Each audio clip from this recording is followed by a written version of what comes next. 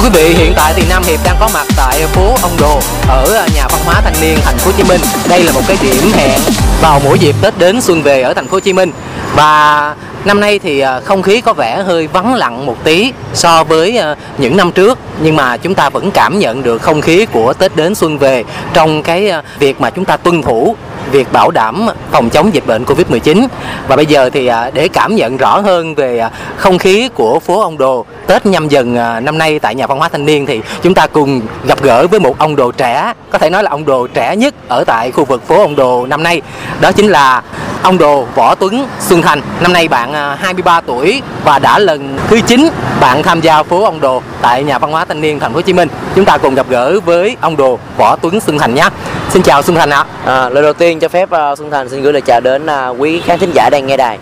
Dạ. À, năm nay thì mình tham dự phố ông đồ trong cái cảm xúc cũng như là những cái điều suy nghĩ như thế nào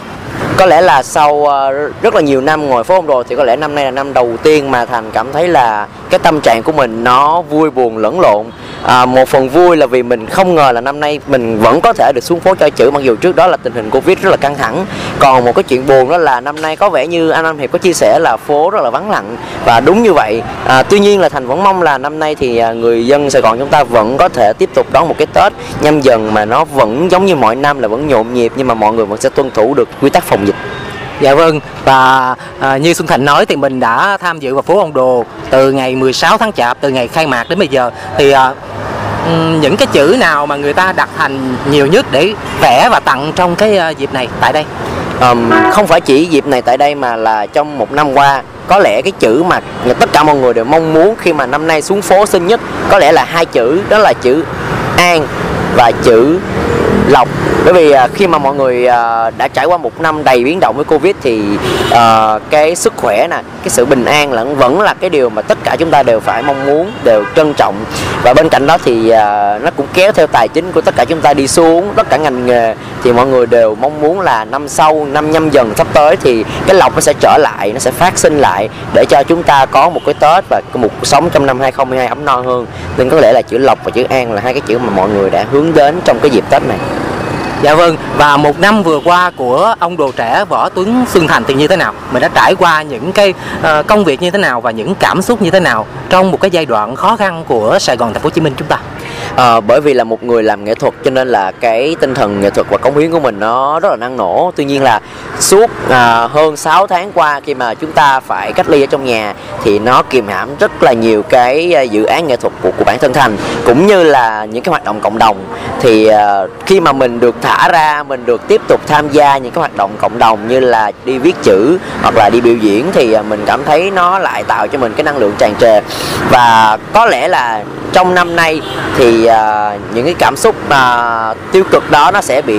phai đi và nó sẽ thay thế bằng những cái năng lượng tích cực hơn để mình có thể cống hiến được nhiều hơn cho cái bộ môn thư pháp cũng như là cái hành trình à, đi gieo duyên chữ cho mọi người. Vâng và cái thời gian mà giãn cách tại nhà đó thì ờ, ờ, uh, các hoạt động nghệ thuật của mình như thế nào đặc biệt là tại cái thư quán của mình nữa thì uh, không biết là thành tìm đến với những cái khoảnh khắc như thế nào và ừ, người ta có nhờ mình vẽ chữ tặng chữ nhiều hơn trong cái thời gian vừa qua hay không? Ờ, có thể là mọi người thấy đó là cái năm covid vừa qua đó là cái đời sống mình gọi là đời sống online. Tức là mọi hoạt động của chúng ta đều trực tuyến online hết từ việc học cho tới công việc của mọi người và giao tiếp cũng là online. Thì cái dự án nghệ thuật của thành cũng vậy tất cả đều phải quy về việc làm online. À, những cái triển lãm online rồi những cái tác phẩm online. Rồi bên cạnh đó là những cái đơn hàng của mình đều phải bị uh, giữ lại để sau cái mùa giãn cách thì thì mới bắt đầu chuyển tác phẩm cho khách cũng như là cho những cái người uh, yêu chữ. Thì uh, có vẻ như là năm nay à, khi mà mọi người à, đã bước qua được cái giai đoạn là thành phố sạch à, và không có nhiễm bệnh nữa thì hy vọng những cái tác phẩm đó sẽ đến tay của mọi người nhiều hơn và có lẽ là sẽ mong sao là những cái dự án online nó sẽ không còn phải online nữa mà sẽ được tận mắt à, để cho mọi người chiêm ngưỡng trong những cái dịp à, trong tương lai. Vâng và hôm nay thì uh, trong cái uh, dịp có mặt tại uh, phố ông Đồ ở nhà văn hóa thanh niên thì cũng là một cái dịp để mà Thành có thể là uh, bày tỏ cảm xúc của mình trong những ngày bình thường mới của thành phố nè. Rồi uh, mình uh, tiếp tục cống hiến nghệ thuật. Năm nay thì uh, Tết nhâm dần rồi Tết uh, con cọp sắp đến thì Nam Hiệp thấy ở đây thì à, Thành có rất nhiều tác phẩm vẽ về hình tượng của con giáp năm nay đó là con hổ thì à, với con hổ của Xuân Thành trong à, hội họa trong thư pháp như thế này thì nó có những điều gì khác biệt và nó mang đến cái thông điệp gì? À, con hổ là một trong những linh vật à, có cái sự mạnh mẽ à, bứt phá và bùng nổ nhất trong 12 linh vật à, và đặc biệt với con hổ của một người trẻ làm nghệ thuật như thành thì thành muốn truyền tải cái tinh thần của một, của những chú hổ với cái năng lượng tràn trề, một sự táo bạo, một sự điên cuồng khi mà nó được sống ra khỏi cái cái cái cái cái nơi mà nó được ở, đó là cái cái khoảng thời gian mà chúng ta bị bị bị bị kìm hãm bởi dịch bệnh. Thì với những chú hổ mà thành vẽ năm nay là mang tinh thần rất là lạc quan và cái năng lượng thậm chí bên đó thành có một cái câu slogan năm nay đó là tết con hổ là phải bùng nổ. À. tức là mọi việc chúng ta làm phải thật là vươn lên bùng nổ lên để chúng ta có thể lấy lại được tất cả những gì mà chúng ta đã mất trong cái năm covid vừa qua. Dạ vâng một năm mạnh mẽ như là hổ đúng không? dạ vâng còn với à, chữ thư pháp thì à, à, như thành nói là, là chữ an chữ lộc là những cái chữ mà à, được à, nhiều người yêu cầu mình vẽ nhất trong năm nay. Thì à, năm nay đến thời điểm này đó, thì thì à, mình thấy là à, công việc ở phố ông đồ của mình nó có thuận lợi không? Và uh, mình có cảm thấy bất ngờ có cảm thấy chạnh lòng khi mà nó hơi thưa vắng một tí không? À, đúng là năm nay là cái năm rất khó khăn không chỉ với bản thân thành trong cái việc viết chữ mà với tất cả mọi người. Chính vì điều đó mà khi mọi người đến đây khi mà họ chọn mua những sản phẩm thư pháp những cái tác phẩm thì họ cũng phải đắn đo về cái mặt tài chính rồi à, về cái mặt là họ sẽ lựa chọn quà như thế nào cho nó phù hợp với túi tiền bởi vì kinh tế thì nó cũng đi xuống. À, tuy nhiên là như lúc đầu thành có chia sẻ là một chút buồn nhưng mà cũng pha lẫn một chút vui. Đó là dù gì thì dù chúng ta vẫn đã được đón một cái tết với nhau vẫn được gặp mặt nhau trong cái mùa phố đồ này chứ không có bị uh, uh, ở nhà online như là lúc nãy chia sẻ. Và thành cũng mong là à, dù cho cái cuộc sống hay là cái kinh tế của bản thân thành hay mọi người đều khó khăn nhưng mà chúng ta à, nếu như chúng ta biết cách sắp xếp à, hợp lý và chi tiêu thì à, năm sau chúng ta làm lại thì chúng ta vẫn sẽ còn được gặp nhau nữa trong những mùa phố ông đồ trong tương lai. Ừ, mình gắn bó với phố ông đồ thì à, mình thấy là cái hoạt động này nó có ý nghĩa như thế nào? Trong cái con đường nghệ thuật của bản thân mình cũng như là đối với những người yêu thích nghệ thuật uh, thư pháp à, với 15 năm cầm bút và 9 năm ngồi ở phố ông đồ thì thành cảm thấy là dần dần mình không còn xem cái việc à, cho chữ nó là một cái đam mê bình thường nữa mà nó giống như là một cái nghiệp một cái công việc mà mỗi một dịp tết sứ mệnh của mình là phải ra phố để mà gieo duyên chữ cho mọi người. Và nó vừa là một cái nét đẹp truyền thống văn hóa của người việt mà nó còn còn là cái sức sống của người sài gòn trẻ à, năng động bùng nổ và đặc biệt là nếu như không có cái lễ hội Tết Việt này thì thành nghĩ là à, cái Tết của chúng ta nó sẽ không còn cái sự đậm đà và nó không còn những cái uh, cảm xúc uh, hạnh phúc nữa khi mà người ta có một cái sự nôn nóng để chờ đợi một cái dịp Tết xung vầy. Ừ, và ai cũng mong những điều tốt lành sẽ đến với mình trong năm mới đặc biệt là hai chữ bình an nữa bình an. thì với Xuân Thành thì mình có những cái ước mong nào ngoài hai chữ bình an đó thì mình có những cái dự định nào trong uh, năm mới nhâm dần 2022 ạ?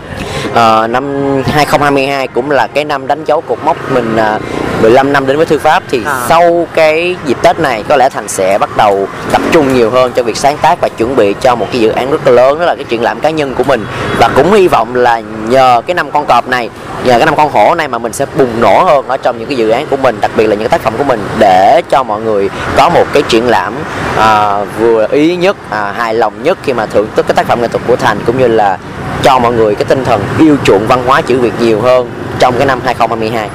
Dạ vâng, như vậy là hứa hẹn là Võ Tuấn Xuân Thành sẽ tiếp tục mang đến những điều bất ngờ thú vị uh, cho công chúng sau những cái triển lãm đã gây dấu ấn như là biến họa trường thư đúng không? Dạ, Còn với những cái niềm đam mê khác, một chàng trai đa năng như Võ Tuấn Xuân Thành thì uh, mình như thế nào? Như là âm nhạc nè, rồi mình uh, uh, truyền dạy, mình uh, chia sẻ uh, truyền cảm hứng cho nhiều bạn trẻ các trường đại học cũng như là uh, hoạt động tại thư quán của mình nữa thì uh, có những cái hoạt động nào uh, thành có thể chia sẻ với uh, công chúng trong năm mới ạ? À? um, như anh Nam Hiệp có chia sẻ là ngoài cái thư pháp thì Thành đang bắt đầu mong men lớn sân hơn về trong lĩnh vực âm nhạc thì chắc là năm sau Thành sẽ xuất hiện trong nhiều cái chương trình nhiều cái cuộc thi truyền hình về âm nhạc hơn à. À, cái này là hứa hẹn luôn bởi vì là mình đã ấp ủ rồi và khi mà tới thời điểm uh, gặt hái trái chính thì mình phải hái thôi. Và và à, ngoài những cái dự án về âm nhạc thì uh, thành có một cái hội thư trà quán. Thì cái uh, thư trà quán đó chắc là trong tương lai uh, 2022 nó sẽ được khôi phục lại sau những cái ngày ngủ đông của ờ, covid. Và sẽ chào đón mọi người đến uống trà và xem chữ cũng như là giao lưu về nghệ thuật văn hóa như là đàn tranh thư pháp vân vân. Và cũng sẽ mong là cái uh, tình thư trà thất của thành sẽ là một địa điểm để cho tất cả các bạn trẻ và không nghĩ không chỉ những bạn trẻ mà những cô chú lớn tuổi nữa. Có đã tìm về cái nơi an yên để chúng ta à, tạm gác lại những lo toan trong cái năm covid vừa qua. Vâng, chúng ta cùng hẹn nhau ở à, tịnh thư trà quán của à, Võ Tuấn Xuân Thành quý vị nhé. Còn đến với à, phố ông Đồ tại lễ hội Tết Việt Nhà văn hóa thanh niên Thành phố Hồ Chí Minh. Lần này thì bây giờ cho đến 29 tháng Chạp đó, cũng còn à, à, khoảng hơn một tuần nữa thì thì à, thành có à, lời nhắn gửi gì đến với mọi người khi đến với nét đẹp văn hóa này à, trong những ngày còn lại thì chúng ta tận hưởng cái không khí yên bình của Sài Gòn Thành phố Hồ Chí Minh cũng như là tìm đến với nét đẹp văn hóa những ngày Tết ạ. À. À, cũng mong rằng là dù năm nay dịch bệnh có à, như thế nào đi chăng nữa thì chúng ta cũng sẽ phải tuân thủ 5K à, tuân thủ những cái biện pháp phòng chống dịch. Và chúng ta vẫn phải đến du xuân bởi vì là đây là cái nét đẹp của người à, Việt Nam chúng ta và đặc biệt là người Sài Gòn thành phố chúng ta là năng động nhiệt huyết và đặc biệt là luôn luôn yêu chuộng những giá trị truyền thống. Thì mong rằng mọi người sẽ dành một chút thời gian của mình à, đến với phố ông đồ dạo quanh để chúng ta cảm nhận cái đặc biệt nhất đó là Tết trong mùa dịch nó sẽ như thế nào khác với những mùa năm trước. Đó và thành hy vọng là chúng ta sẽ có một cái Tết ấm no hơn, bình an hơn trong cái năm 2022. Vâng, quý vị nhớ là cùng đến với ờ, phố ông Đồ tại nhà văn hóa thanh niên Thành phố Hồ Chí Minh để mà có thể là thăm những cái ờ, ông đồ tại nơi đây cũng như là thưởng thức những cái tác phẩm của Võ Tuấn Xuân Thành cũng như là nhiều ông đồ khác tham gia vào lễ hội lần này. Và chắc là một lời chúc xuân từ ờ, ông đồ trẻ Võ tướng Xuân Thành dành tặng cho những thư pháp gia những người yêu chữ và những công chúng đã ủng hộ mình trong suốt thời gian vừa qua à, thì ờ, tất tết đến xuân về rồi thì thành cũng xin ờ, chúc cho các bạn thư hữu cũng như là tất cả công chúng đang sống và làm việc tại Việt Nam. À, và kể cả ở phương xa nữa một năm mới 2022 đầu tiên là phải bình an trước sau đó là sẽ nhiều tài lộc vận may để chúng ta gỡ gạt lại tất cả những gì đã mất trong năm 2021 vừa qua và đặc biệt là chúc mọi người một năm mới à, luôn luôn có nhiều tinh thần tích cực để chúng ta sống cống hiến đúng với cái tinh thần của người Việt Nam là yêu chuộng chữ nghĩa và phát huy truyền thống văn hóa Việt Nam. Dạ vâng, chúc cho Võ Tuấn Xuân Thành sẽ có những ngày thật là vui, thật là cảm xúc và thật là nhiều đam mê với con đường nghệ thuật mà mình đã theo đuổi và sẽ có những ngày thật là sung vầy, thật là ý nghĩa tại phố Ông Đồ, nhà văn hóa thanh niên Thành phố Hồ Chí Minh ờ, năm nay. Ờ, xuân nhâm dần đến thì chúc cho Thành sẽ mạnh mẽ nè, sẽ vững niềm tin, vững đam mê để mà có thể cống hiến cho nghệ thuật và mang đến cho công chúng những điều mới mẻ trong năm mới ạ. À. Xin cảm ơn Nam Hiệp rất là nhiều và cảm ơn quý khán giả đang nghe đài.